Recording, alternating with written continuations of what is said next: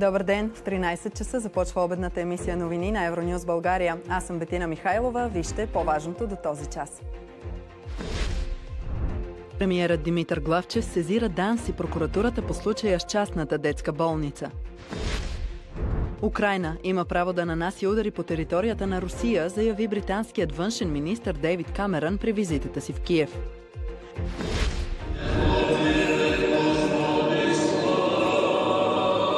Разпети петък е. Последният ден от Страстната седмица е посветен на Христовото разпятие и кръстната смърт на Исус Христос.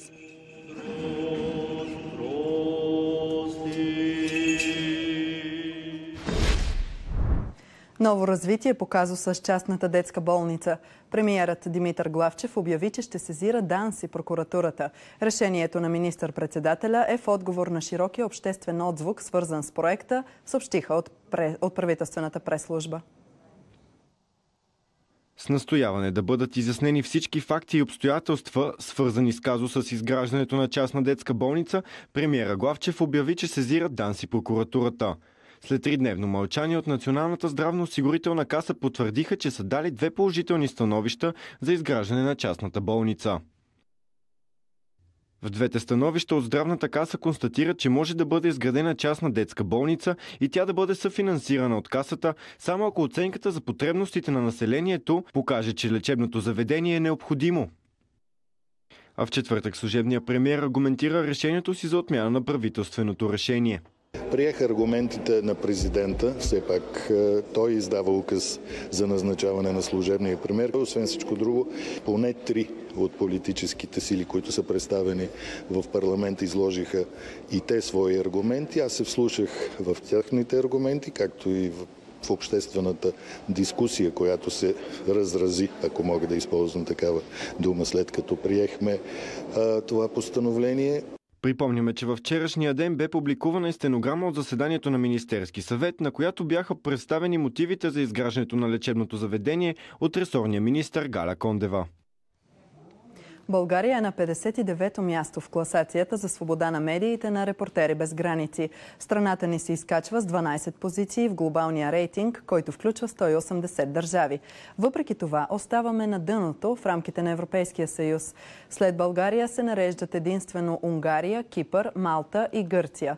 Международната организация обяснява подобрението на медийната среда у нас, най-вече с факта, че през 2023 година се е наблюдавало желание за осъществяване на реформи в областта на свободата на пресата. Същевременно обаче от Организацията за защита на журналистите критикуват управляващите, че не са успели да въведат системни мерки, за да разрешат ендемичните проблеми на България, включително този с нарастващия брой на така наречените дела шамари. Разпети петък е. Последният ден от Страстната седмица е посветен на Христовото разпятие, кръстната смърт и полагането на Исус Христос в гроба. Във всички храмове светата плащеница се изнася за поклонение.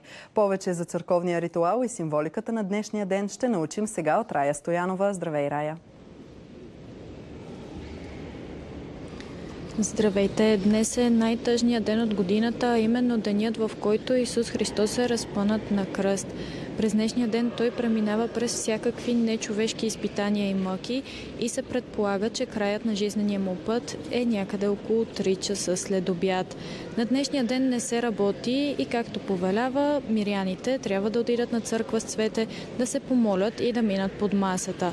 А какъв всъщност е обичаят минаване под масата и какво символизира той, предлагам да видим сега.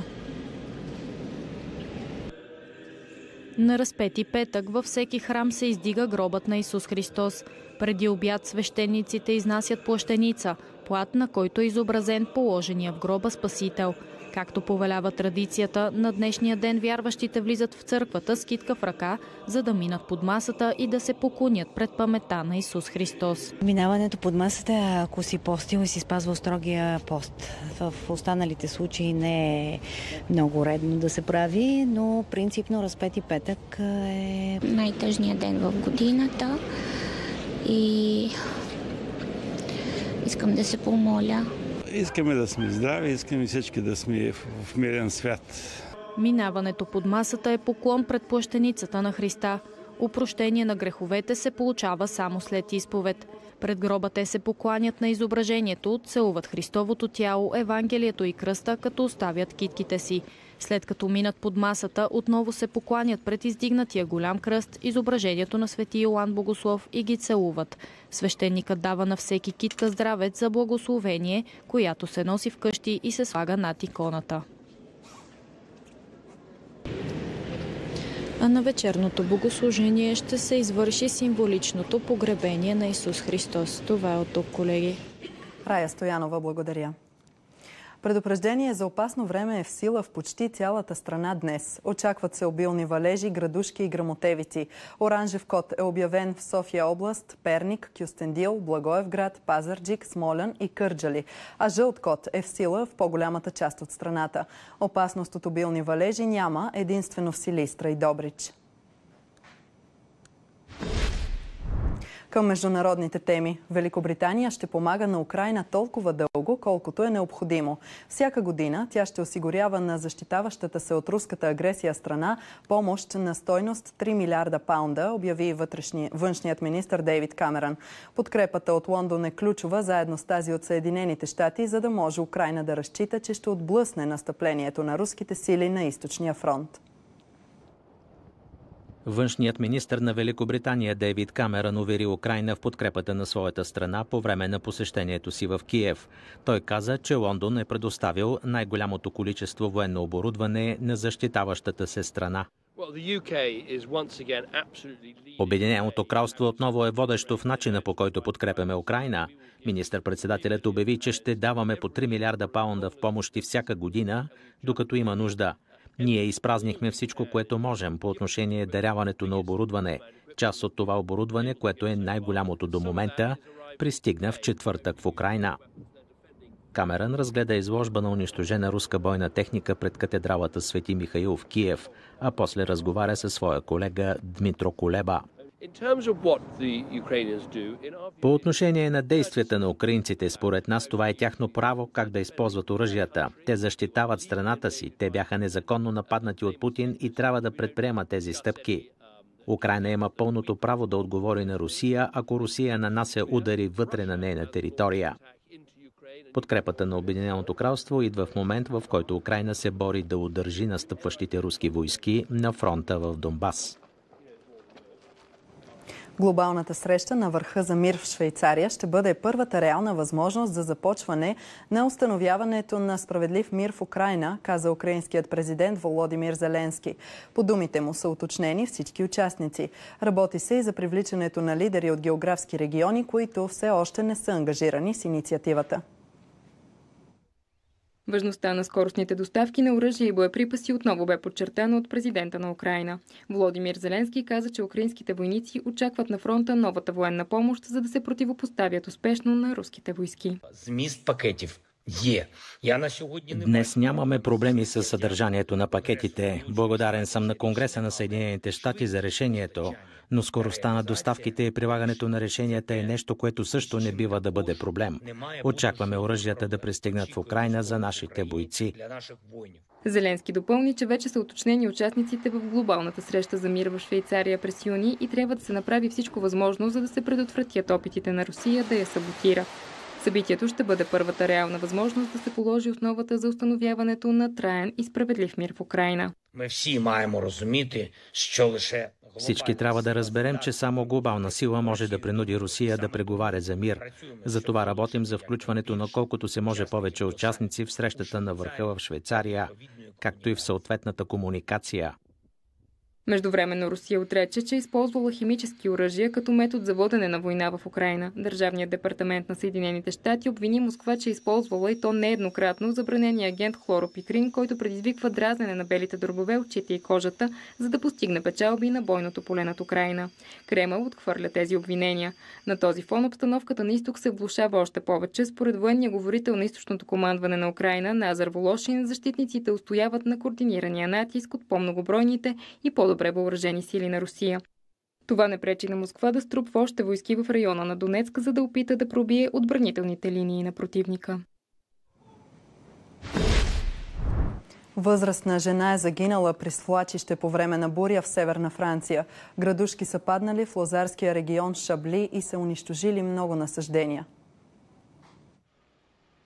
Гърмотевични бури във Франция отнеха човешки живот. Жена на 57 години е загинала при кално свлачище в департаментен. Съпругът е ранен и откаран в болница. Къщата на семейството е била разрушена от калните потоци.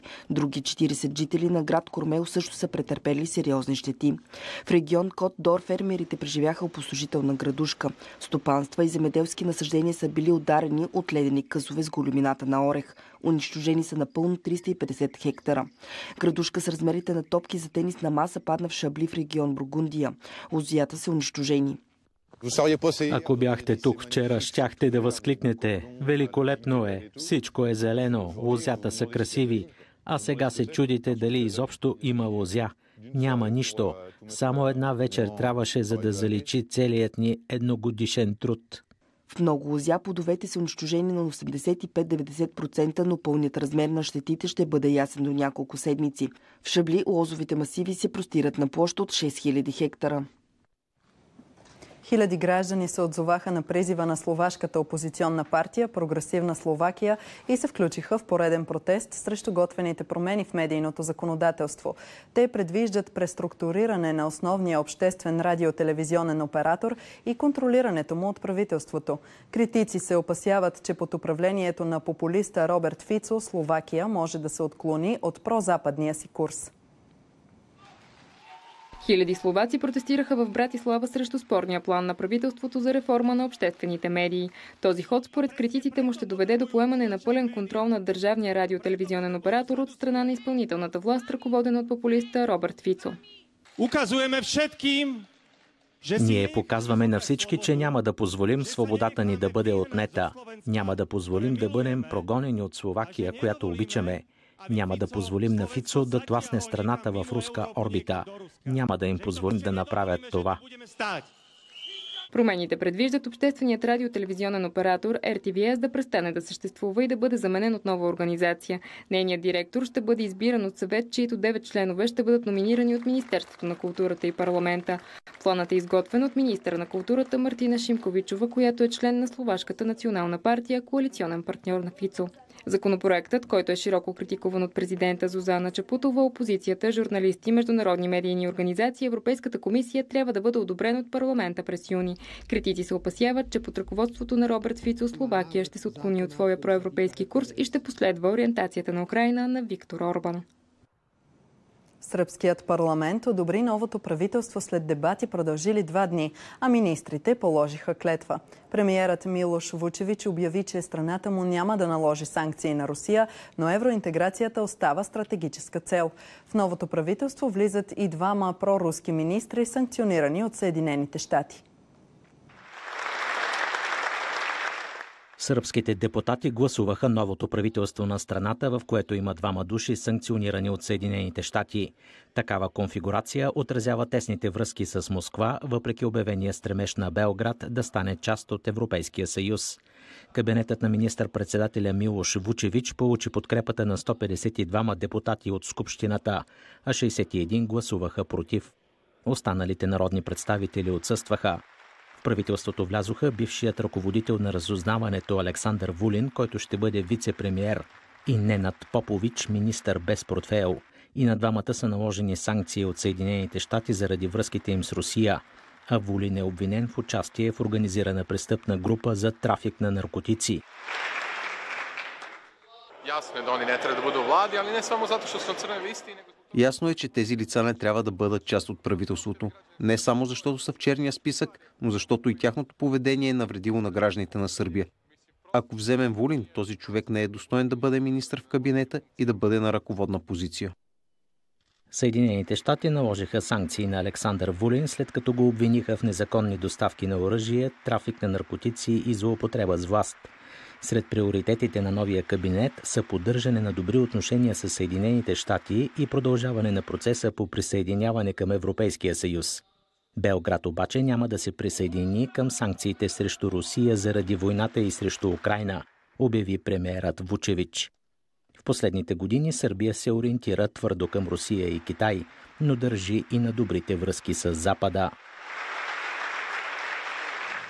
Сърбия отбелязва мрачна годишнина. Точно година от стрелбата в училище в Белград, при която бяха убити 9 деца и един възрастен и още една на другия ден с 9 убити и 12 ранени в две села близо до столицата.